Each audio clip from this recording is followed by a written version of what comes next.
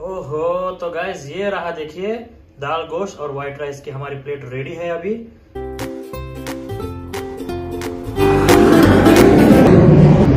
Hello guys welcome back to our channel तो guys ये सब सामान देख के तो आप लोगों को पता ही चल गया होगा कि आज कुछ ज़रूर पकने वाला है।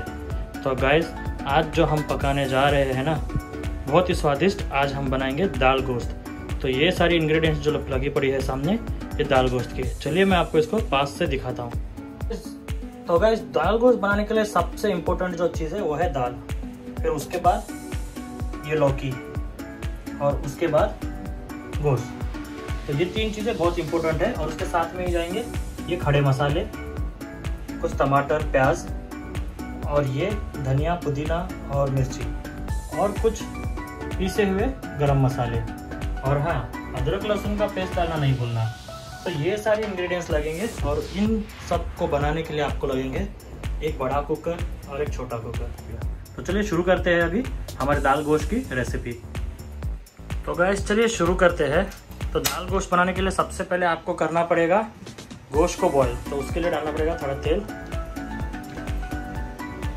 तो तेल जैसे ही डल गया इसमें, उसके बाद आपको डालना है थोड़ा सा प्याज।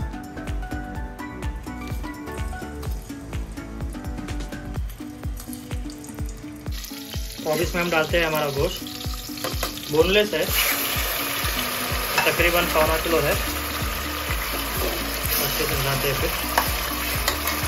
फिर इसमें आप फिर ऐड कीजिएगा अदरक, लहसुन का पेस्ट जितना आपको सही लगे, आपके हिसाब से डाल दीजिएगा। तो भाई याद रखिए, ये सिर्फ़ अब हम गोश्त को बॉईल कर रहे हैं। तो देखिए अदरक लहसुन के बाद इसमें थोड़ा सा जाएगा। हल्दी और बहुत थोड़ा सा गरम मसाला। ज़्यादा नहीं डालिए, वरना गरम मसाला आपको एकदम हार्ड हो जाएगा। फिर इसको सब अच्छे से मिक्स कर लीजिए।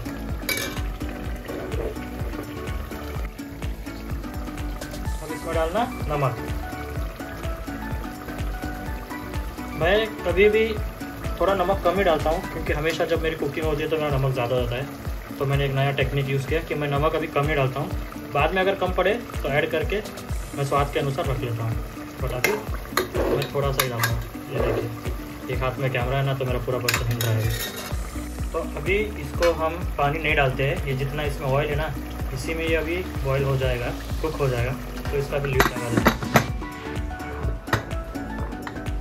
तो ये देखिए लीड लग चुका है।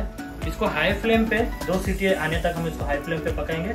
और उसके बाद लो फ्लेम पे तीन से चार सीटियाँ लेंगे, जब तक गोश्त नहीं गलता दोस्तों, जब एक तरफ़ गोश्त गल रहा होगा तो उसी तरफ़ एक साइड में हम चलिए इस दाल को भी थोड़ी गला लेते हैं। इसको भी थोड़ा बॉईल कर लेते हैं, पका लेते हैं। ये पानी में डाल गया और थोड़ी सी प्याज और उसमें डालते हैं हल्दी।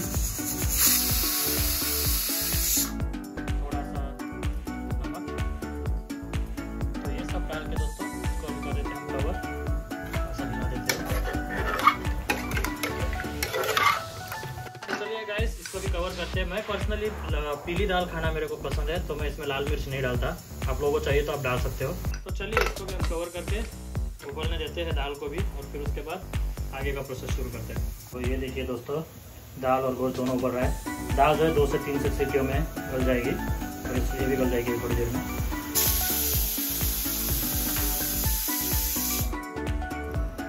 देखिए, हमने पानी नहीं डाला था, लेकिन गोश्त ने अपना पानी छोड़ दिया है। तो इसलिए पानी नहीं डालना है, वरना ये खराब हो जाएगा। तो ये देखिए गोश्त ने अपना तेल और पानी सब छोड़ दिया है और अच्छे से गल चुका है अभी। तो इसको साइड में करते हैं और इसी बर्तन में हम लोग आगे का प्रोसेस शुरू करते हैं। तो चलिए अगर दाल की भी ठीक ठाक से सीटियाँ हो चुकी है देखते हैं इसका क्या हाल हुआ है।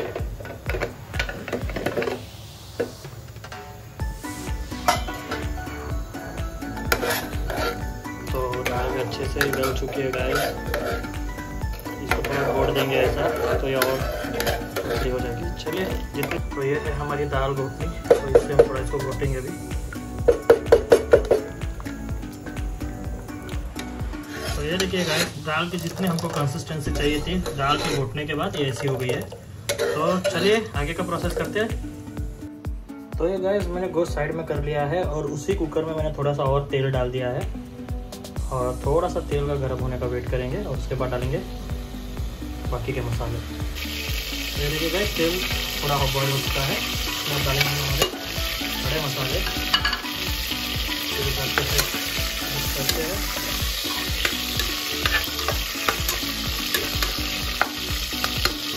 डालेंगे थोड़ा सा प्याज।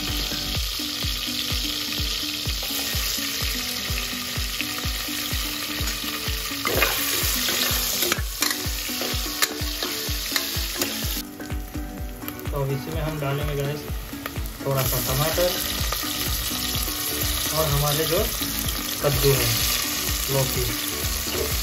लौकी मेन है गैस इसमें अगर ये नहीं डालोगे तो वो वाला टेस्ट नहीं आएगा। मेरे को ज़्यादा लौकी पसंद है तो मैं ज़्यादा डाल रहा हूँ आप थोड़ा शौक नहीं जाना। तो कितना डाल रहा है मुझे मेरे को पसंद है ज़्यादा तो मैं ज़्यादा ही डालूँगा। जो इसमें हम बाकी के भी चीज़ डाल देंगे, जैसे कि धनिया, पुदीना। हमारी हरी मिर्च इसको को मिक्स कर देते हैं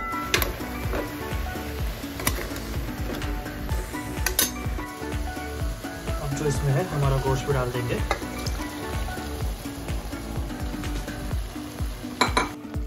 तो ये देखिए गोश्त और बाकी सब इंग्रेडिएंट जा चुके हैं। थोड़ा सा कद्दू को पकने देते हैं, उसके बाद हम दाल डालेंगे इसमें।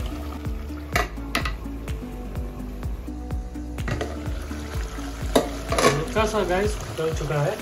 इसमें हम डालेंगे अपने बाकी के थोड़े गरम मसाले।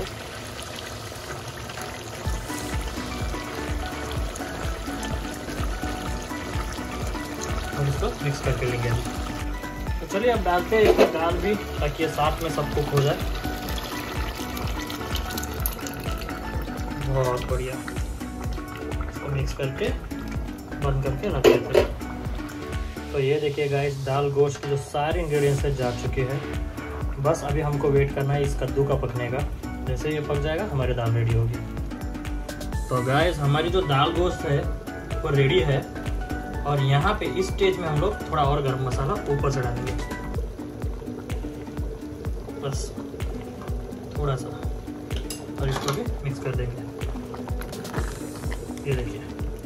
हमारी जो कद्दू है, जो लौकी है, वो पक चुकी है, गोश्त, सब दाल वगैरह सब अच्छे से मिक्स हो चुका है। और देखिए, कितनी बढ़िया कंसिस्टेंसी है। इसको जब आप राइस के साथ खाएँगे तो मज़ा आएगा। इसको आप रोटी के साथ भी खा सकते हो, थोड़ा गाढ़ा करके। ओहो तो गैस ये रहा देखिए, दाल, गोश्त और वाइट राइस की हमारी प्लेट रेडी है अभी। तो आप लोग ज़रूर कमेंट करके बताइएगा कि आपको कैसा लगा ये वीडियो और जाने से पहले ज़रूर लाइक शेयर और सब्सक्राइब कीजिएगा हमारे चैनल को। तो चलिए हमारे खाने का टाइम हो गया गैस तो मिलते हैं आपको अगली वीडियो में. Bye bye